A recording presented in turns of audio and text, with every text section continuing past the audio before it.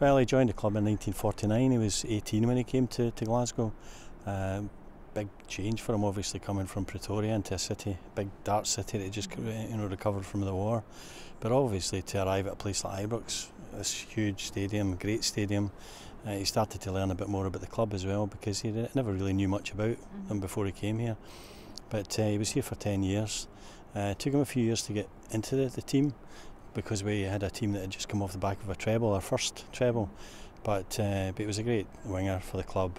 Eventually, they recognised that he had a great potential from the, the penalty spot. I went on to score 60 from 63, so uh, great achievement. No, it's a, it's some record to be fair to him. It's um, to have that that standard and that level for so long. It's it's quite impressive, and to see him today bouncing around the around the pitch at his age is is, uh, is quite incredible. Would you quite like to be like that at 84?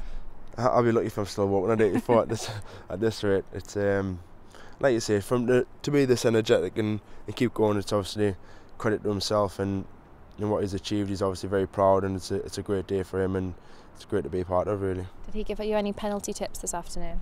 Yeah, don't miss, which is a. Uh, he put us under some pressure really, just saying that he never used to practice as well. So I think we're gonna have to we're gonna have to get improve as well. You do know if he'd scored many penalties before that point that he came to Rangers? Yes, he'd always taken penalties for other clubs, and but when he arrived here, George Young took the penalties, or Willie Waddell.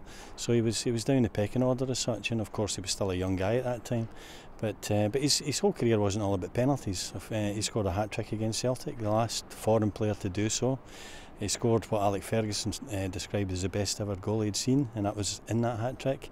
Uh, so uh, he's he's had a a good career. He had quite a good Rangers career for a player who wasn't even officially signed when he first came over. He had to kind of impress, didn't he? Well, he did. He was only over here on a short-term trial, uh, but uh, he came out in the pitch on the first day he arrived. He was running around the pitch and playing with the ball, and and uh, Bill Struth, who was the manager at that time, was watching him from the director's box, and uh, called Johnny back upstairs and said, "You've got a year's contract." So, uh, and really it went on from there. So, uh, but he's a he's a great character as well. I mean, apart from his playing career. He still comes to Ibrox every Saturday, and um, it takes him two buses to get here.